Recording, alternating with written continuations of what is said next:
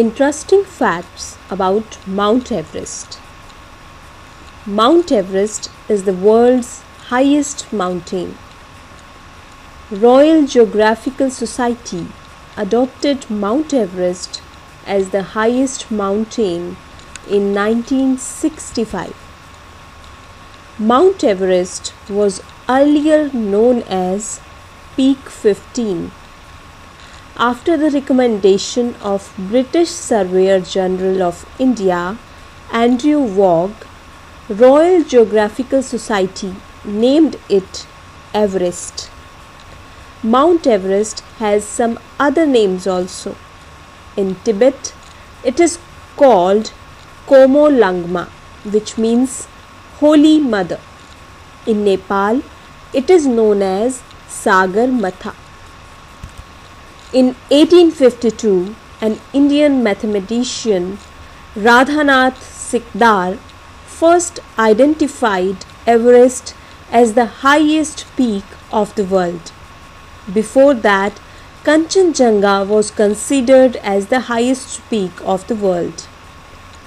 The height of Mountain Everest, which is 8,840 meters from the sea level, was first calculated in 1856 by the Great Trigonometric Survey. Mount Everest is not static, it is moving and its height is also increasing.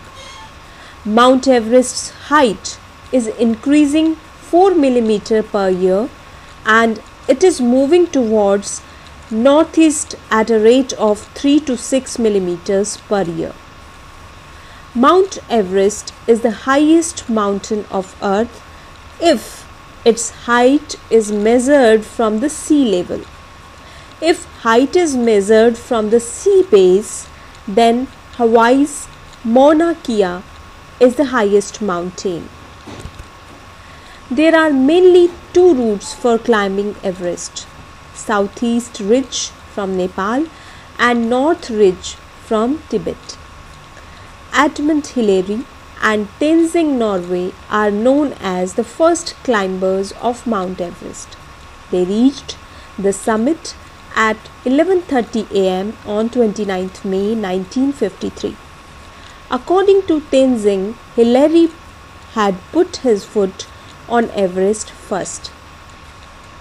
The first woman to climb the Everest was Junko Tabei from Japan. Appa Sherpa has the record for climbing the Everest more times than any other person. He has climbed 20 times till 2011.